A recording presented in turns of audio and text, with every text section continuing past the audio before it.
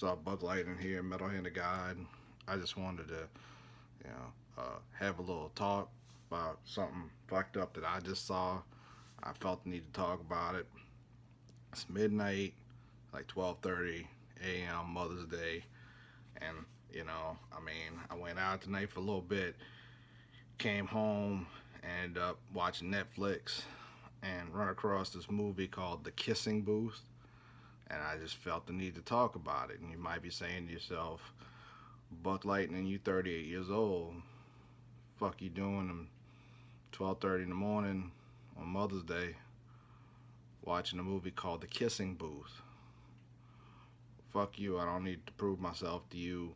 I got pussy last night. Shout out to my brother, Matt, who also got pussy last night. It was I was very impressed. It's neither here nor there but she was impressive. So good for you, Matt. Anyway, anyway, so uh, kissing booth. So uh, this is gonna be a not safe for work subject matter. It shouldn't be. It's, it's a movie called The Kissing Booth on Netflix. Feels like it should be a family-friendly affair, but it's not. I definitely saw some statutory rape that absolutely happened in this movie. I don't know what the fuck I just watched let me tell you about it. Let me tell you about the Kissing Booth. Okay, so first of all, Kissing Booth stars a young girl who looks kind of like a chubby Rory Gilmore. You might be saying to yourself, Buck Lightning, 30 years, 38 years old. How the fuck you know who Rory Gilmore is? Fuck you. Like I said, I got pussy last night. I don't need to prove myself to you, but you know, I did in fact watch all four episodes of the Gilmore Girls reunion when it came on Netflix. I'm not necessarily proud of that, but I did. Anyway, so like a chubby Rory Gilmore. It's not a bad thing, actually. She's just, um, it's kind of baby fat on her, which is sort of the point. Uh, so, uh, that's where the, again, we'll get to it. We'll get to it. Hold, hold on, I'll feed you. Like, I, I get to the part where we talk about the statutory rape, but it definitely happened in this movie. We definitely saw some statutory rape. Anyway, so the movie, when you watch the trailer, seems to be about two best friends who grow up together. One's a boy and one's a girl. And they have to put on so it's like a show for the high school fair. And they decide to put on a kissing booth and she has a crush on the boy's older brother. And, you know, you see the movie and you're like, oh, that looks cute. Looks like a family friendly affair where, you know, she has a crush on the older brother, but the older brother's kind of a jerk. And it turns out that she's they're both in love with each other, best friends. And so the older brother, she stops trying to date the older brother because she falls in love with her best friend. And, you know, and they find out at a kissing booth where you know, there's like a switcheroo, and the younger brother, who's her best friend, ends up kissing. None of that happens. None of that happens in the movie. And point of fact, there's barely a kissing booth in the movie at all. I don't know why it's called a kiss. I mean, there's there is a kissing booth early in the movie. They talk about it a lot for the first like 10 minutes, and the kissing booth happens, and the kissing booth goes away. There's also a little thing where you know the two best friends have rules. And rule number nine is that you can't date relatives because he don't want her to date his older brother. Because his older brother's like real good looking and you know uh, strong and all things I mean he's a good looking kid too because it's one of those movies where they pretend like a like a good looking kid's ugly. But uh so you know like you you know, rule number nine, you can't date relatives. And you're like, oh, he's, the reason he has that rule is because he's secretly in love with his best friend and he doesn't want her to get with his older brother because he's in love with her. No, that's not the reason. Turns out he's just an asshole. That's the only reason for the rule, is he's an asshole. And it's kind of sad. Sort of bummed me out in the movie. That bummed me out in a movie that involves statutory rape. That should tell you something. Fuck, weird fucking movie. Kissing Booth. Anyway. So, a lot of things happen that you think, oh, this is where the movie's going to go, and the movie don't go there. So it turns out that the two best friends are not in love at all. Like they love each other, but they're not in love at all. And she really is in love with the older brother. And uh, so, first of all, the older brother, good looking kid. You know, I'm a little envious. I wish I looked like that. However, you know, she's 16. And you can tell she's 16. Actually, she might be younger than that. She looks kind of younger. Also, motherfucker looks 30. He looks almost my age. And so every time like they start making and they make out a lot in this movie. Every time they make out you're like that's not that's not supposed to happen. This is a Netflix movie. It's supposed to be a family friendly affair about a kissing booth. This is not supposed to be, you know, creepy older neighbor fuck 16 year old girl. But that's that's what I mean. Eventually, that's what happens. She he he fucks her. Like, I get to that. I get to that.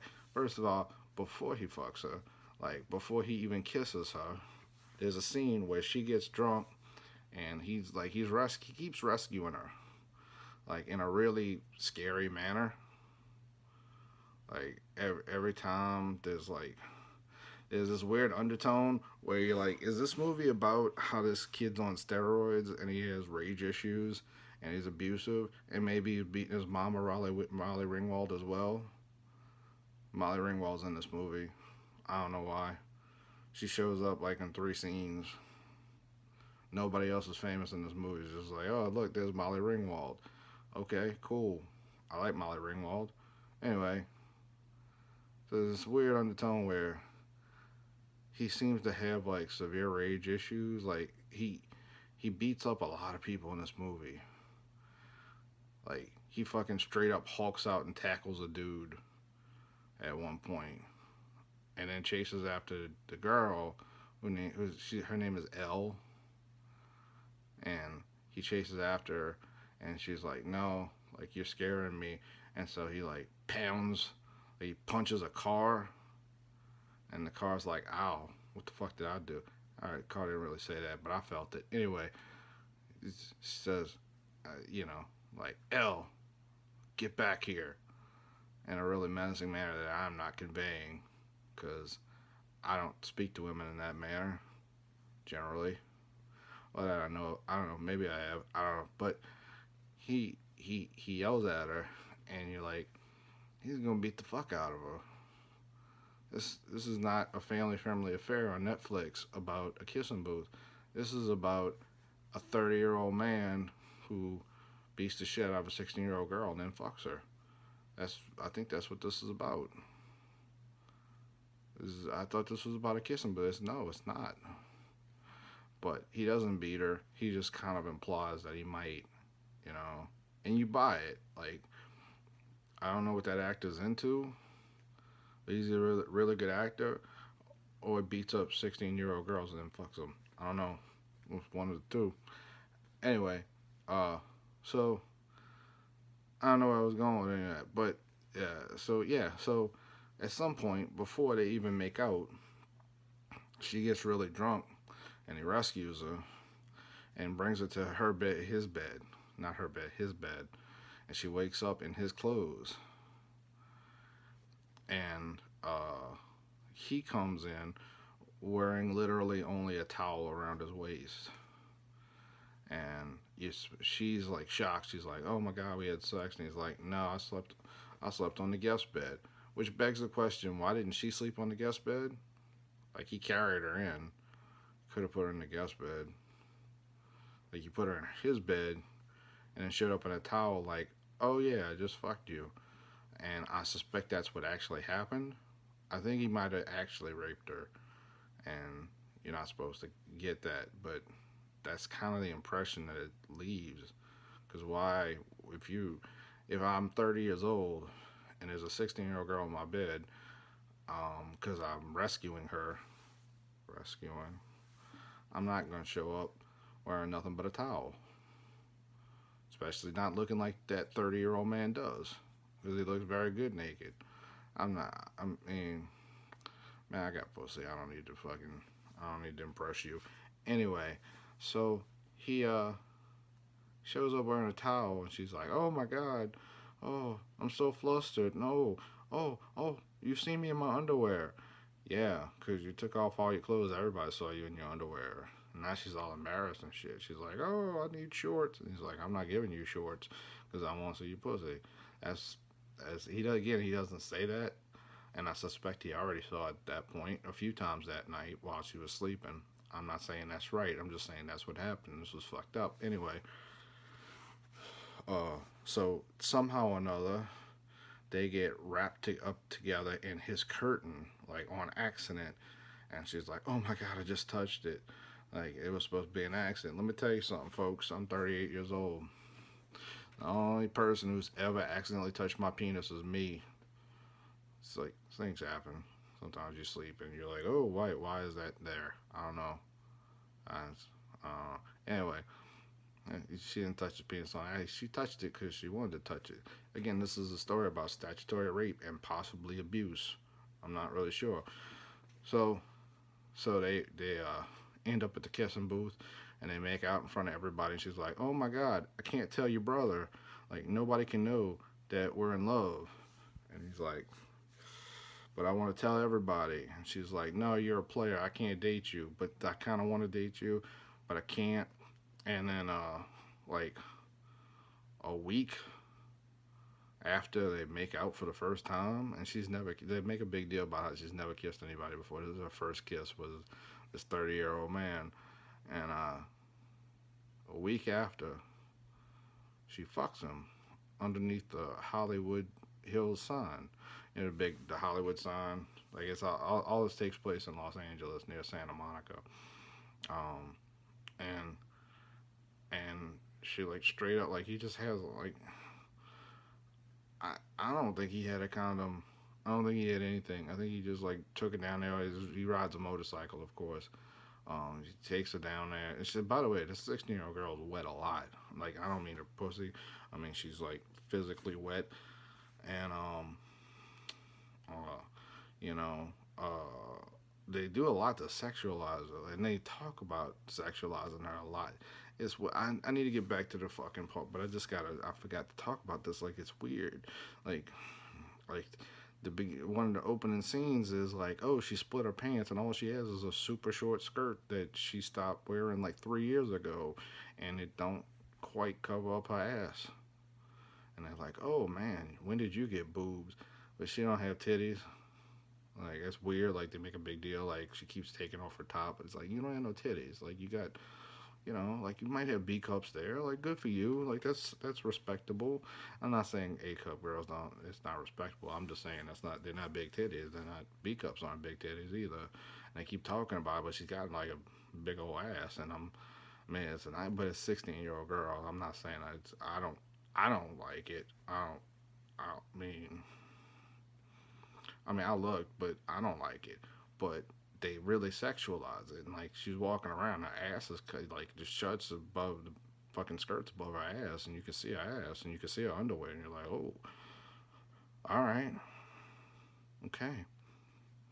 Anyway, they do a lot to sexualize this young girl, you know. And anyway, so like a week after her first kiss, she fucks the dude, and yeah, she's known him her whole life, but like literally, like outside underneath the Hollywood Hills. I mean, like in public, all all he had down was a blanket. Again, I don't think he used the condom, but I don't think he used the condom when he raped her at the party that I mentioned earlier when she was drunk.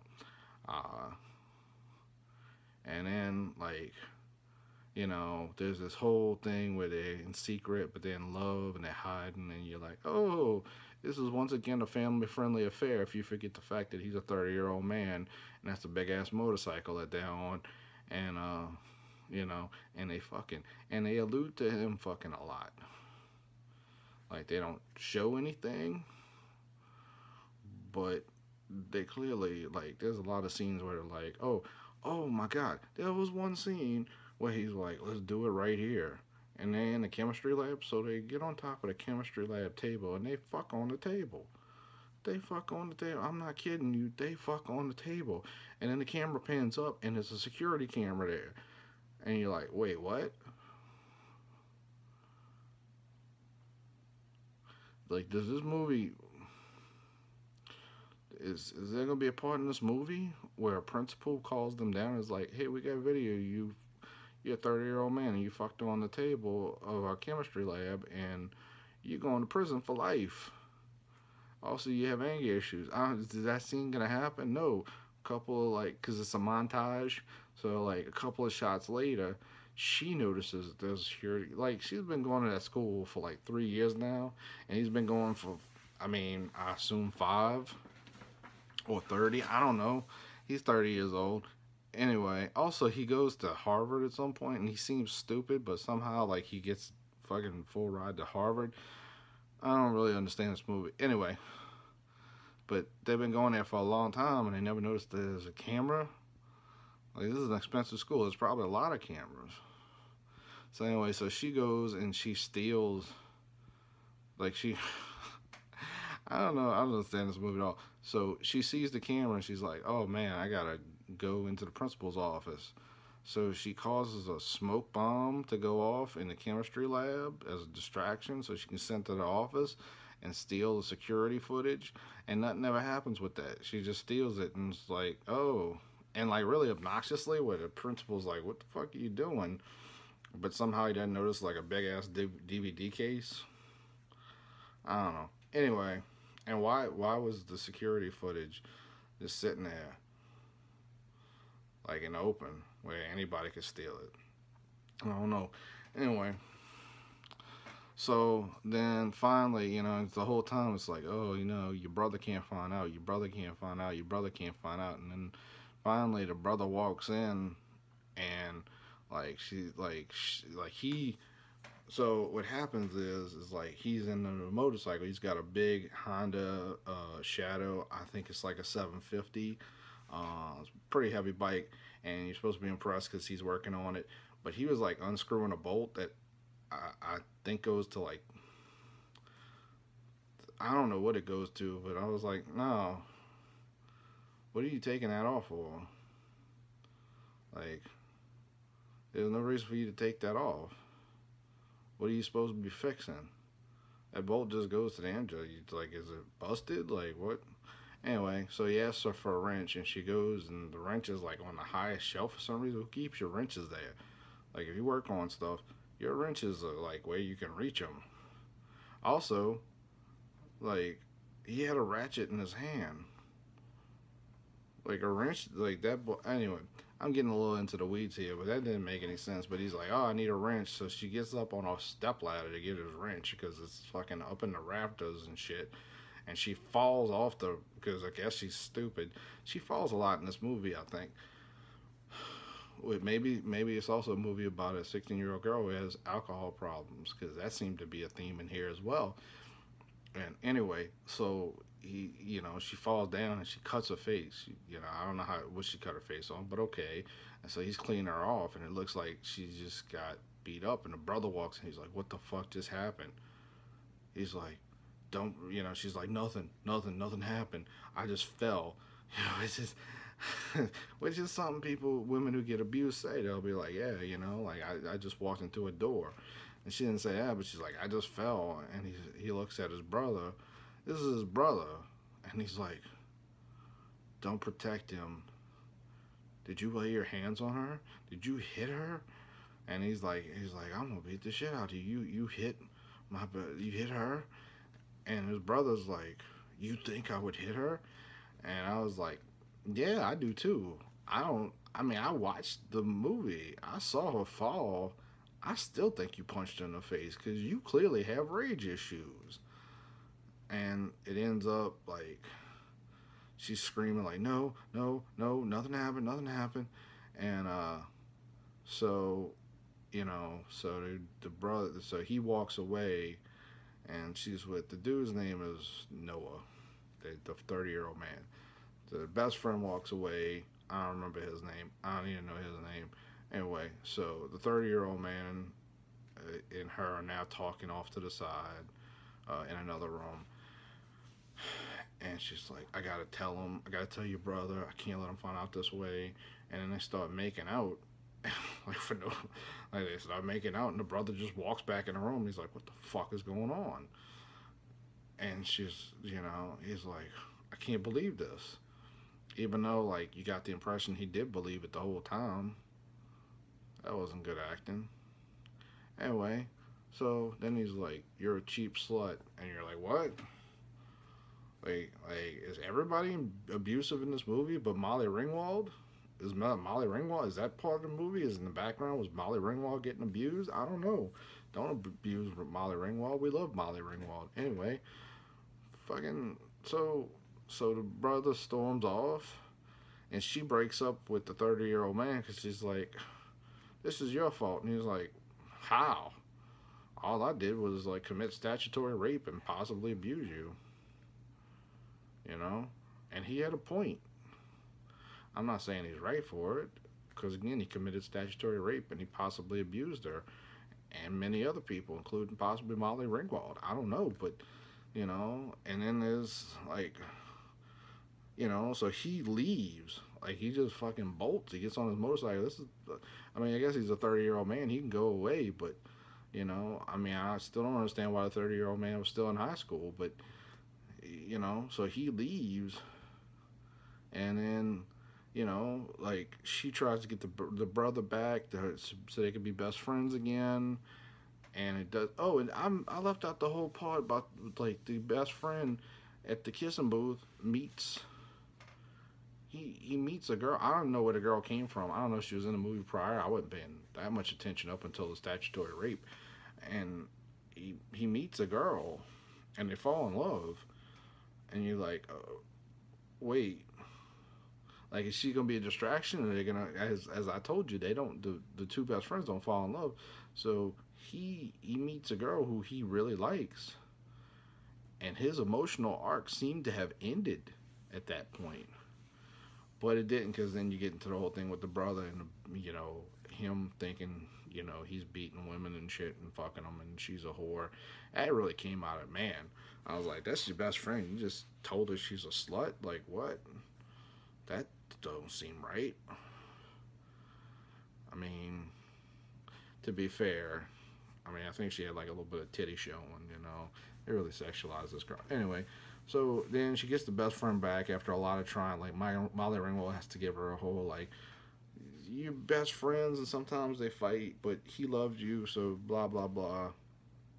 And then, so there's, it all leads up to the prom where she goes alone because they broke up and a 30 year old man like they set up the kissing booth. 30 year old man shows up and he's like "Elle, I love you. I want to be with you. And she's like no. This this is terrible. And you're like whoa. That ended abruptly.